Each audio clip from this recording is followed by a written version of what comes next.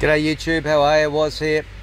Okay, the FZ1, we've gone to Fred at Pro Cycles.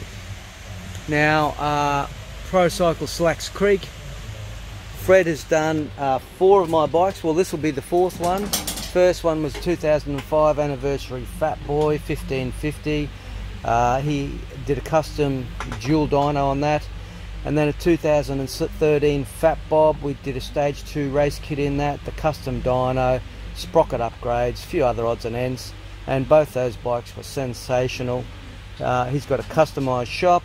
And then the uh, MT10 we did a uh, Woolich race tune on that. And now we come to the FZ1 now it does have a power commander in it and it goes extremely well, very smooth. But what I'm finding is that the bottom end up to 4000 RPM, it's just a bit sluggish. And so we're going to have a little look at that map and figure out what's going on. So, have we started? Yes, we have. Alright, so we've done our base run and we've come up with a few problems in relation to why it was running the way it Wozza. I could have sworn this thing was as smooth as butter, but guess what? I'm so glad I've come down to Fred now, and I'll let Fred tell you what's going on. Well, was you're probably like saying it's smooth. It's probably not too bad down low. I've, seen a little variances down that low end fueling that we need to fix anyway. But straight away, if you're looking at doing track days or anything high end throttle, this you've got a bit of an issue here. So you can see here I'll make it one screen so you can see it easier. Right, that's your air fuel line. So see it almost looks like a power curve. It actually goes up like a ramp and it's consistently ending up at almost 15 to 1 in the fueling, which is way, way too lean. So that on a racetrack would cause engine damage. Yep. Um, that's where it's under its highest load, it's on its demand for fuel. Um, you know, on a dyno, we've got sort of still air. So that being here, I'd like to see that like, you know, 12 and a half, 12, 8 to 1 on a dyno. So when you're on a track, it's, it looks a lot better. So when I see something like that, um, something like this with this sort of kilometres on it, I'd say, right, we've got a fuel problem. We've got either a fuel system problem where we could go, it's going to be pump, um, in-tank filter, maybe injectors, something running out and actually starving the bike for fuel. But you can see here on the fuel map, right? See all these numbers in this high end of the map? Yep. So at some stage when this has been tuned, it looks like it's been quite rich. People have taken a lot of fuel out of it to fix whatever's been going on. So what I've what I've done, you could see me playing around a little bit then on the dyno, um, and we did a few few tight runs with that with that deal to try and make sure that was right. Um, what I've done is I've changed those numbers there. I've taken the minuses out because that's actually taking a lot of fuel out of the high end throttle. I drop those. If we go receive map, I've just I changed those numbers to minus fours from minus 22 so I've taken a fair bit of fuel out of that high end. Where you can see back over on the other screen. I did one more run after seeing that run right which is this one here I overlay it which is the blue run. You can see there the fueling has now gone quite rich just from taking that fuel out. The horsepower's gone straight up. It's picked up seven horsepower there. So yeah bonus. So that's great in two ways it tells me you haven't got a pump problem, haven't got a filter problem, it's purely a tuning issue. Um, so we can then go through, and obviously I'd like, that's going a little bit rich now, I'd like to bring that up and make that line nice and smooth right through. So I can be thankful I didn't just take this bike to a track straight away. It would have hurt it. Would have yeah, hurt it. Yeah, would have hurt it. 15 to 1 on air fuel, it's, it's rich enough that it's going to make enough heat that it will cause dramas you know, long jeopardy wise, eventually it would, would cause it a problem, you know. Yeah, so we want to um, make this engine last. So fuel, yeah, as you can see, fueling and tuning are, are your ultimate with these yep. bikes. Straight away like that, you know, that's that's way way too lean, and that's where you're going to have issues. So.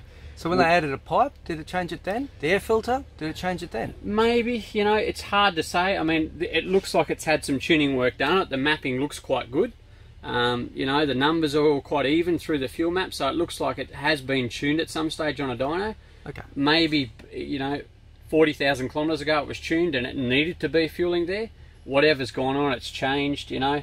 So um, we're going to do a Woolich race tune in it yep. and leave the power commander in there and try and work the two in. Is that it? That's right. So our plan is we're going to open the Woolich software up. We're going to go through and see what we can do to de-restrict that standard ECU to make it go faster, yep. make it go better, get rid of some ignition retards off the lower gears. We'll get rid of things like the O2 sensor. Um, we'll drop some thermofan temperatures, a little bit of cool stuff like that that will just help it. Yep. And then we'll once we've done that, we'll go right over that whole fuel map again. Um, and just make it so we have some nice linear air fuel lines and make it go like it should. Well, again.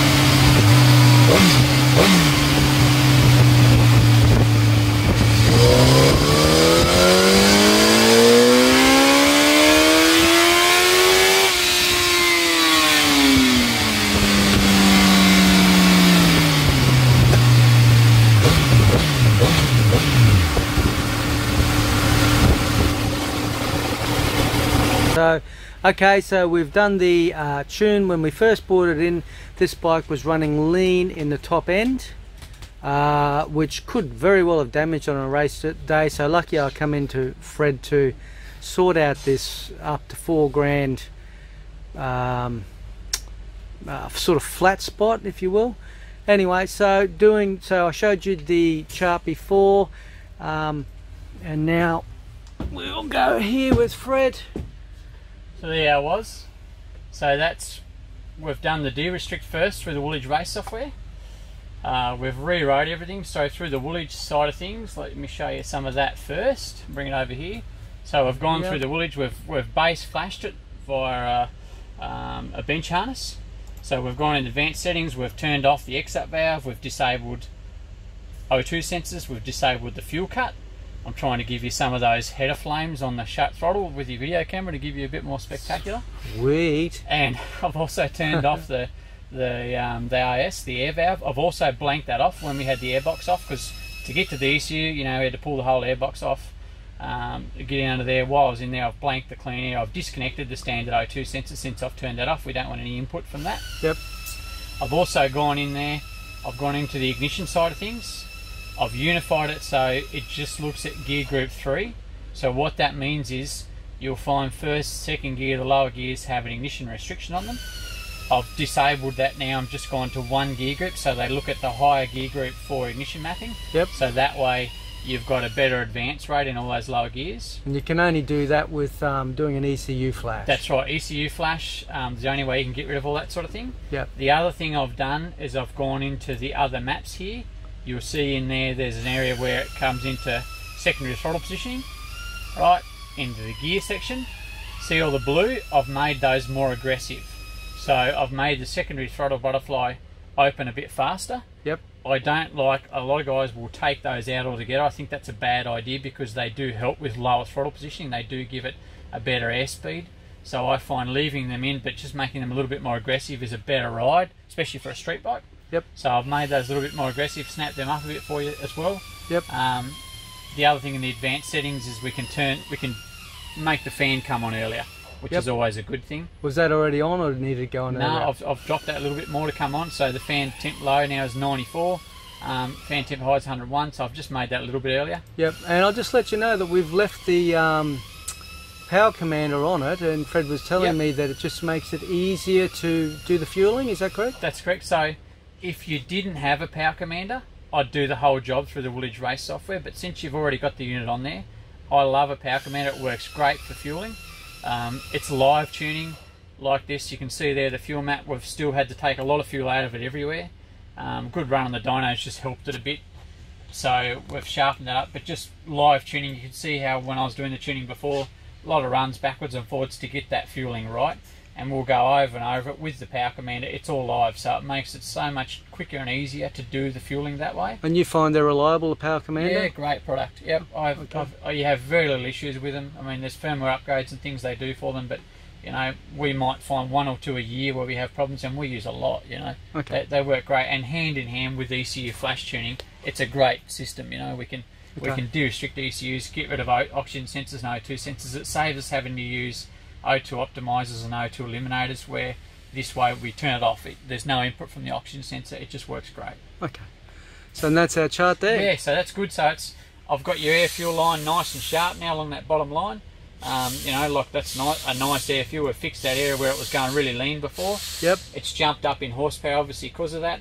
You've gone from a base ran at 138. We've now got you to just under 144, which Yep. is pretty stout for one of these. Um, bit of more torque as well. You can see there. If I click the cursor at 10,000 revs here, where you've gone from from 100 and, 128 horsepower to nearly 137. So it's picked up almost 10 horsepower at 10,000 revs, Yep. which is great gain, you know. And obviously, it's it's not doing this lean stuff here where it was going to do engine damage. Yeah, so well, I'm glad I got in yeah, here. You'll be a winner. No problem at all. All right, cheers. Thanks, man. No Thank worries. you. Thank you very much.